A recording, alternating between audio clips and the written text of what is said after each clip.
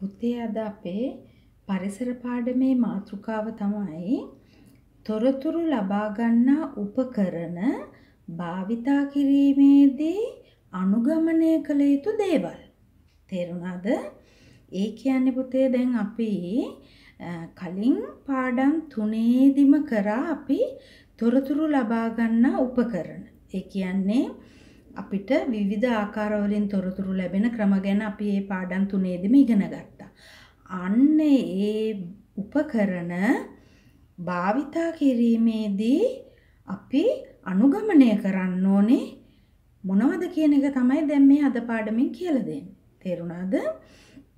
එතකොට පුතේ දැන් ඒ කියන්නේ ඒ උපකරණ හරි විදිහට පාවිච්චි කරේ නැත්නම් බොහෝ විදි බොහෝ වෙලාවට ඒ උපකරණ කැඩිලා බිඳිලා යන්න පුළුවන්.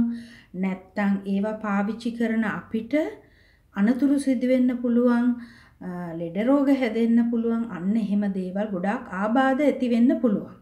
අන්න ඒවා ගැන තමයි දැන් මේ කියලා දෙන්නේ. මොකද මේ උපකරණ අපි කවුරුත් පාවිච්චි කරනවනේ නේද? දැන් මේ පෙන්නපු සෑම තොරතුරු ලැබෙන උපකරණයක්ම අපි එදිනදා පාවිච්චි කරන ඒවා. දැන් පුතාලත් දැනගන්න ඕනේ මේ උපකරණ පාවිච්චි කිරීමේදී අපි ඒවා පාවිච්චි කරන්න ඕනේ කොහොමද කියලා. හරිද? දැන් පුතේ ඕගොල්ලෝ දන්නවනේ අකුණු ගහනවා කියන එක නේද?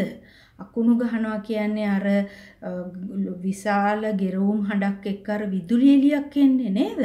ඒ අකුණු ගහන වෙලාවේදී පුතේ මේ විදුලි උපකරණ කිසිවක්ම පාවිච්චි කරන්න හොඳ නැහැ. හරිද? දැන් මේ මෙතන පේනවා නේද මේ ගෙදර ටීවී බලනවා නේද? පවුලක අම්මයි තාත්තයි බබාලා දෙන්නෙකුයි ටීවී බලනවා. ඉතින් දැන් මේ එළියේ වහිනව ඇති අකුණු ගහනව ඇති සමහර විට වහින්නෙත් නැතුව විතර අකුණු ගහනවත් විතරක් ඇති කොහොම හරි ඒ තාත්තා ටක් ගාලා ටීවී එක ඕෆ් කරනවා.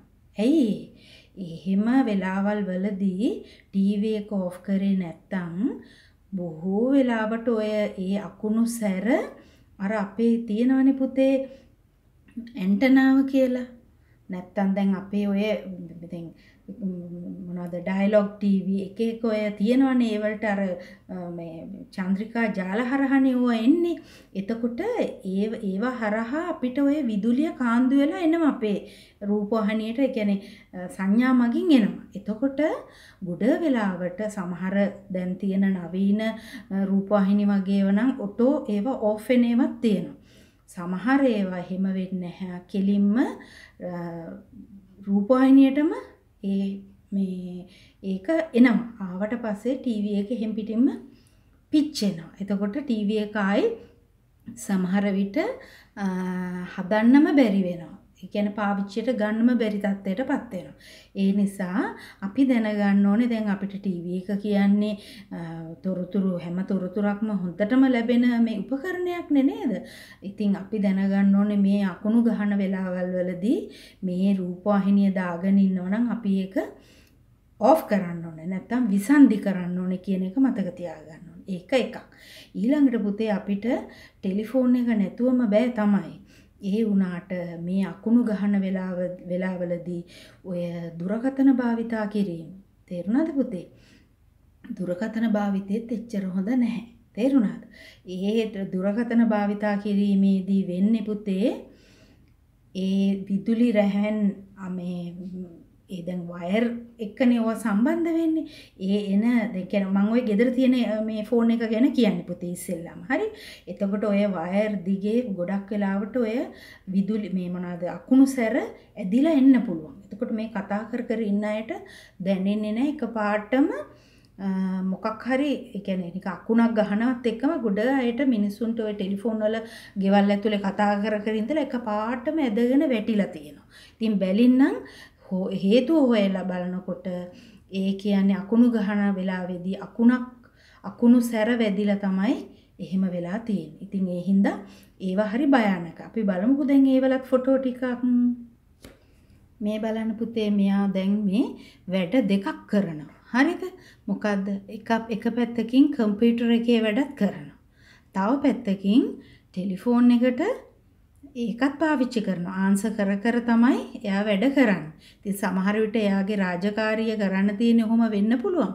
ඒ වුණාට පුතේ මේ අකුණු ගහන වෙලාවේදී අපි ඔය විදිහට එහෙම වැඩ කරද්දි චුට්ටක් සැලකිලිමත් වෙන්න ඕනේ. මොකද අපි අපි ගැන හිතන්නත් එපයි නේද? අපි හොඳට හිටියොත් තමයි සේවයක් කරන්න පුළුවන් නේද? අපිට මොකක් හරි හානියක් වුණාට පස්සේ වැඩක් නැහැ නේද? ඒ නිසා දුරකථන භාවිතා කිරීමේදී පුතේ විශේෂයෙන්ම ඒවලත් අකුණු ගසන වෙලාවේදී අකුණු සැර වැදීම ඇති වෙන්න පුළුවන්. හරිද? ඊළඟට පුතේ පරිගණකයත් ওই වගේම තමයි.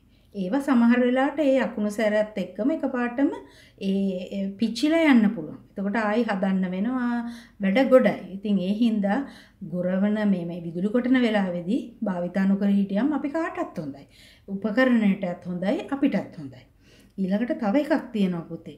දැන් පුතේ දැන් ඔය කම්පියුටර්ස් පාවිච්චි කරද්දී පුතේ අපි හරියට ඉඳගෙන ඉන්න ඕනේ පුතේ. දැන් ඔය දවස පුරාම කම්පියුටර් එකේ වැඩ කරන රස්සාවල් තියන අය ඉන්නවනේ.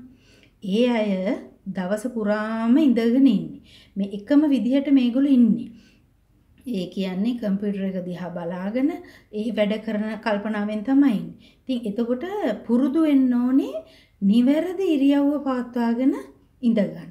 එහෙම නොහි ඉඳගෙන එහෙම ඒ කියන්නේ අඩමානෙට අපිලිවෙලට ඉඳගෙන වැඩ කරොත් කාලයක් ඒ විදිහට පුරුදු වුණොත් වෙන්නේ අපිට ඒ කියන්නේ කොඳු ඇට පෙළේ ආශ්‍රිත රෝගවලට මුහුණ පාන්න වෙනවා. ඒ කියන්නේ කොන්දේ අමාරු හැදෙනවා, ඒ වගේ දේවල් වෙනවා. දැන් අපි ඉස්කෝලේ ඉඳගෙන පුටු පුටු මේසේ හරි අපි පුතාලට කියලා දෙන්නේ හරියට කෙලින් ඉඳ ගන්න පුටුවේ එහෙම කියලා කියන්නේ ඒකයි.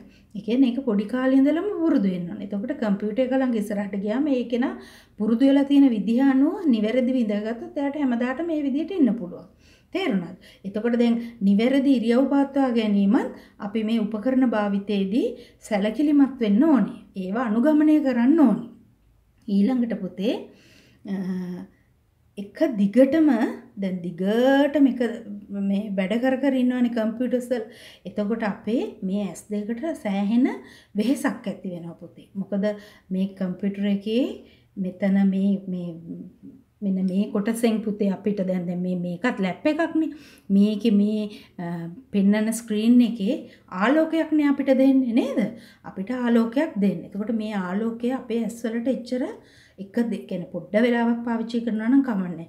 උදේ ඉඳන්ම පැය ගණනාවක් පාවිච්චි කරනකොට දිනපතා මේ විදිහට කරනකොට අපේ ඇස්වලට ඒක හානියක් වෙන්න පුළුවන්. ඉතින් ඒ හින්දා අපි වැඩේ ඉවරෙච්ච විගස පොඩ්ඩක් අපේ ඇස් දෙක අහකට ගන්න ඕනේ. ඕක දිහාම බලාගෙන ඉන්න නරකයි කියන එක කියන්නේ. ඊළඟට මේක දිහාම බලාගෙන වැඩ කිරීමෙන් වෙන්නේ අපේ මොළය මොළය මොළේ මොළේ සෛලවලටත් හරි. කියන්නේ කිසිම හෙලවීමක් නැහැ. භාවනාවක් වගේ ඒක දිහා බලාගෙනම ටයිප් කරන වැඩේ ඒ ඒ වැඩමකි කරන්නේ. එතකොට අපේ මොලේ සෛල වුණත් ක්‍රියාකාරීත්වය ඒ කියන්නේ විනාශ වෙනවා කියලායි කියන්නේ පුතේ. එක දිගටම කරන්න නරකයි කියලායි කියන්නේ. ඊළඟට පුතේ බලමුකෝ අපි තව පින්තූර තියෙනවනේ ඔහොමින්.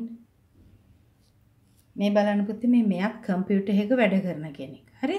දැන් එයා ඉඳන් ඉන්න විදිය බලන්න ඕන බලන්න තවත් එකක් තියෙනවා.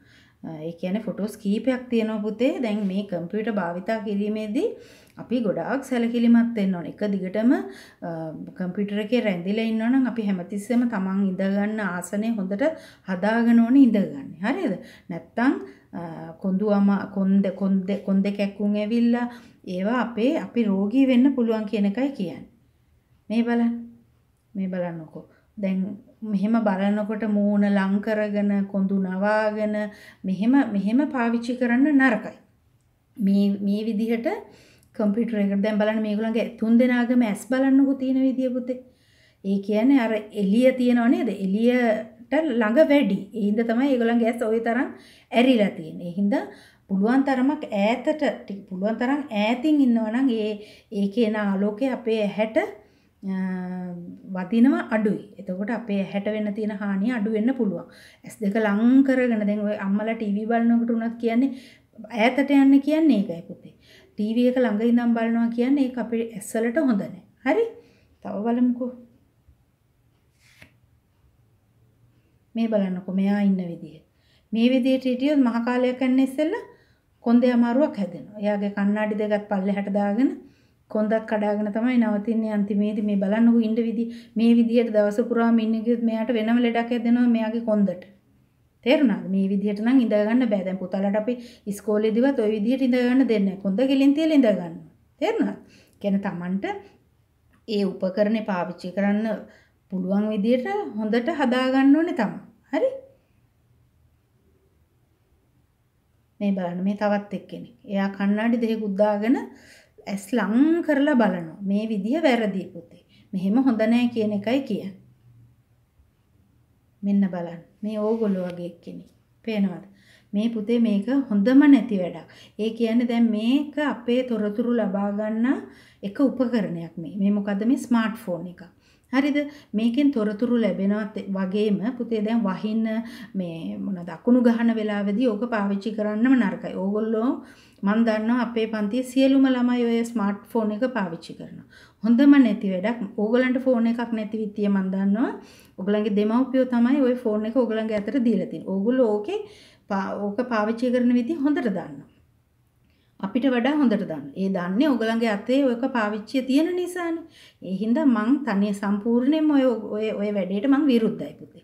ඕක කිරීමෙන් වෙන්නේ පුතේ ඕගොල්ලෝ රෝගීන් වෙනවා. රෝගීන් වෙනවා. මොකද බලන්න ලං කරගෙන මූණ ළඟට කරගෙන එකක් බලන. එකක් ඇඟපත හෙලවෙන්නේ ඒක දිහාම බලාගෙන ඊළඟට මනස මනස කියන්නේ අපේ මොලේ මොලේ ක්‍රියාකාරීත්වය ඕකට පමණයි පුතේ. ඕගොල්ලන්ට දැන් එළියට අරන් ගිහිල්ලා රේස් එකක් දුවන්න කියනවා. බෝල ගහන්න කියන. ඕගොල්ලන්ට ඒක වැඩි වෙලාවක් කරන්න බෑ. ඒ වුණාට ඕගොල්ලෝ ඒක කරන්න ගියාම එක්කෝ මොකක් හරි කරගෙන ඒක නවත්ත ගන්න. මේකක් දුන්නාම ඕගොල්ලෝ බලන්නකෝ ඕගොල්ලන්ගේ තියෙන සංවරකම.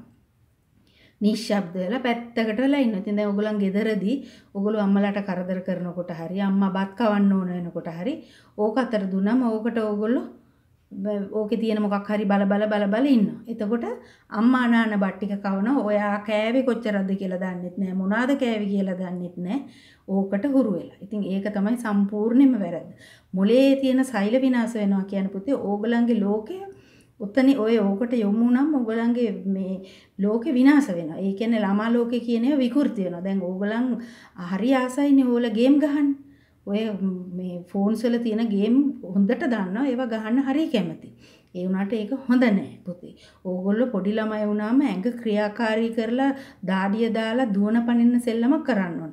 ඕගලන්ට කල්පනා ශක්තිය අඩු වෙනවා. ඕක බලන්න බලන්න බලන්න ඕකට ඇලි ගැලි ඉන්න තාක්කල් ඕගලන්ගේ එන්න එන්න එන්න එන්න ඕගලන්ගේ සියලුම මොලේ තියෙන ශෛලවල ක්‍රමක්‍රමයෙන් දුර්වල වෙනවා මිසක් වර්ධනයක් වෙන්නේ නැහැ පුතේ. මොකද මේවා පාවිච්චි කරන්න දෙන්නම එපා කියලා තියන්නේ පොඩි ළමයින්ට. ඒ වුණාට දැන් අද ලෝකේ හැම ළමෙක්ගේ අතේම ওই ෆෝන් එකක් තියෙනවා. ඕන තැනකට ගියාම අම්මා කෙනෙක් බලනකොට ළමයාගේ අතට ෆෝන් එක දීලා අම්මා වැඩ. ඉතින් ළමයාගෙන් නිදහස තියෙනවා. ඒ වුණාට ළමයාට ඒක හොඳ නැති වැඩක්. දැන් ඕගොල්ලන්ගේ අම්මලාත් ඕගොල්ලන්ට ඕක කරනවා. ඒක තමයි ඕගොල්ලෝ ඔය හැම දෙයක්ම ওই ෆෝන් වල ගැන දන්නේ. ඕගොල්ලන්ගේ මොන හරි ක්‍රීඩාවක් ගැන ඇහුවොත් ඕගොල්ලෝ මුකුත් දන්නේ ඕගොල්ලන්ගෙන් හරියට රේස් එකක් දුවන්න කිව්වට දුවන්න බෑනේ මං අහන්නේ. දුවන්න කිව්වට රේස් එකක් දුවන්න කිව්වොත් මග නැවතිලා බල බල ඉන්නව වටපිට බල බල ඉන්නව කවුරු හරි ඉස්සරහින් ඉඳන් අතවන්නන්න ඕනේ දිනුම් කණුව ගාවට එන්න කියලා. නැත්තම් වටපිට බල බල ඉන්නවා. ඒ කියන්නේ රේස් එකක් දුවන්න තරම්වත් එහෙම දැනුමක් නැති ළමයි ඉන්නවා අපේ පන්තියේ. ඒ වුණාට ඕකක් අතර දුන්නොත් නම් ඔක්කොම දන්න ඔය ෆෝන් එක අතර දුන්නම්. ඒක වැරද්ද කරලා තියෙන පුතේ ඔයගොල්ලන්ගේ අම්මලා. ඕගොල්ලෝ දැන්වත් ওই ෆෝන් එක වැලිලා නවත්තන්න. ඕගොල්ලන් දන්නේ බෙන්ටෙන්ලා, ස්පයිඩර්මෑන්ලා, බැට්මෑන්ලා නේද? ඕගොල්ලෝ හරි ආසයි. ඒව තමයි ඕගොල්ලෝ දන්නේ. ඒව බලලා ඊළඟට ඒවල තියෙන ඕගොල්ලෝ අත්හදා බලන්නත් යනවා. ඉතින් ලොකු විනාශ වෙන්නේ. ඉතින් ඒ හින්දා ඒව හොඳ නෑ. පොඩි ළමයි විශේෂයෙන් ඔය ස්මාර්ට්ෆෝන් එකේ පාවිච්චිය අයින් කරන්න ඕන. ඕගොල්ලන්ගේ අතට ස්මාර්ට්ෆෝන් එක දෙන්න ඕනේ පුතේ. දැම්මම නෙමෙයි ඕගොල්ලන්ට කාලයක් එනවා. ඒ කාලේ එනකොට ඕගොල්ලෝ ස්මාර්ට්ෆෝන් පාවිච්චි කරන්න. දැම්ම ඉඳන්ම පාවිච්චි කරන්න කියොත් වැඩේ ඕගොල්ලන්ට ඔක්කොම ඉවර වෙනවා. දැන් ඕගොල්ලන්ට ඉගෙන ගන්න ඒවා ඔක්කොම පැත්තකට දාන්න පුළුවන් ඕගොල්ලෝ මේකක් දැක්කම ඕගොල්ලන්ට වෙන මුකුත් ඕනේ ෆෝන් එකම තමයි ඕනේ.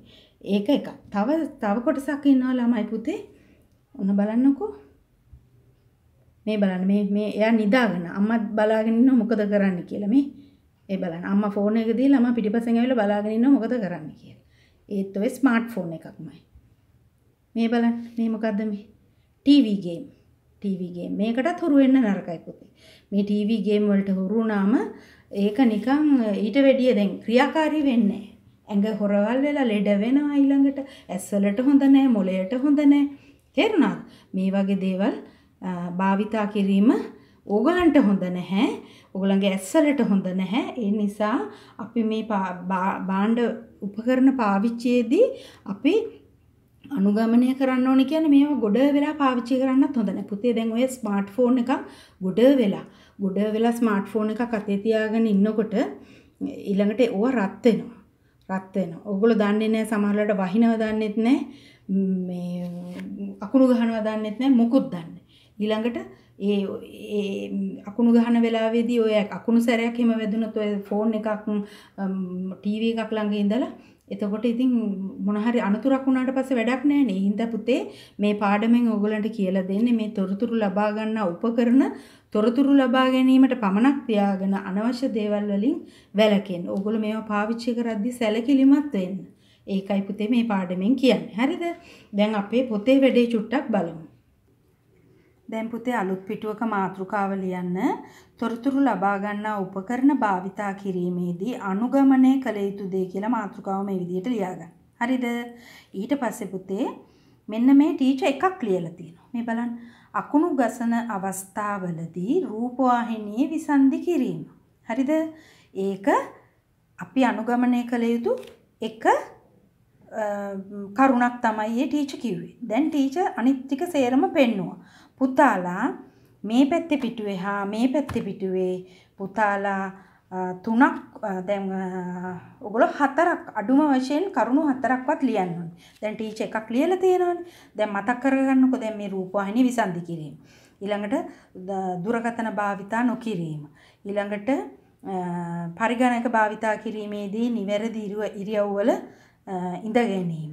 ඊළඟට එක දිගටම දිගු වේලාවක් පරිගණක භාවිතා නොකිරීම. ඊළඟට ස්මාර්ට් ෆෝන් නිතරම භාවිතා නොකිරීම. හරිද? ඊළඟට ටීවී ගේම් දීර්ඝ වේලාවක් භාවිතා ඒ කියන්නේ ටීවී එක ඉස්සරහා මේ ඉඳගෙන ඒක පාවිච්චි නොකිරීම. අන්න ඒ වගේ දේවල් තමයි මේ තොරතුරු ලබා ගන්න උපකරණ භාවිතා කිරීමේදී අපි සැලකිලිමත් විය යුතු කරුණු. ටීචර් එකක් ලියලා තියෙනවා ඕගොල්ලෝ පහලට පහලට නැත්තම් අනිත් පිටුවේ හතරක් හෝ පහක් ලියන්න ඕනේ පුතේ. අඳින්න දෙයක් නෑ මේ පාඩමේ. ඕගොල්ලෝ මේ ටික ලියලා අවසන් කරන්න ඊළඟ දවසේ ඊළඟ පාඩම කරන්නම් පුතාලට බුදුසරණයි.